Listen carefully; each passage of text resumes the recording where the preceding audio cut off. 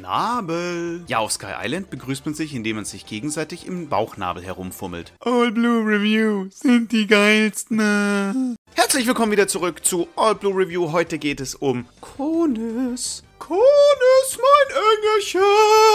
Im Waifu-Meter-Test, ja, wer Konis nicht mehr kennt, Konis ist das kleine Mädel von den Sky Islands aus Skypiea. Vor dem Timeskip war sie 19 Jahre alt und nach dem Timeskip natürlich 21 Jahre alt und ist geboren am 20. Mai. Diese engelsgleiche Gestalt ist eine Bedienung im heutigen Pumpkin Café. Konis ist sehr musikalisch, sie hat damals immer eine Harfe mit dabei gehabt und hat die Harfe gespielt. Wahrscheinlich kann sie auch auf Flöten spielen, denn ich habe Grund zur Annahme, dass sie mit langen Dingen gut umgehen kann. Was wir später gesehen haben, als mit richtig großen Bazookas rumgefummelt hat. Konis hat blondes Haar und Flügel wie ein Engel und wir können glaube ich alle Sanji verstehen, dass er auf Konis gestanden hat, denn sie ist unglaublich süß. Konis ist ganze 1,76 Meter groß, das ist eine normale Größe zum ersten Mal und ihr werdet sehen, sie hat noch andere normale Maße, die wir so eigentlich selten haben in One Piece. Tja, auf was für einen Typ Mann steht Konis eigentlich? Sie steht auf gläubige gläubige Männer, denn sie ist ja auch ein Engel. Haha. Und sie steht auf Tierliebhaber, denn sie selber rennt auch ständig mit einem Fuchs herum. Tja, zur Körbchengröße würde ich sagen, Konis hat ein C-Körbchen, was wahrscheinlich das normalste und eine der kleinsten Größen überhaupt in One Piece ist. Und wenn ihr auch in den Genuss von Engelslippen kommen möchtet, dann solltet ihr ganz schnell konvertieren. Auf dem Sexappeal Rating würde ich sagen, ist sie eine 7. Und auf dem Waifu-Meter würde ich ebenfalls sagen, eine 7. Ihre Ansprüche sind nicht gerade sehr groß, genauso wenig wie ihre Hupen, aber dafür hat sie zwei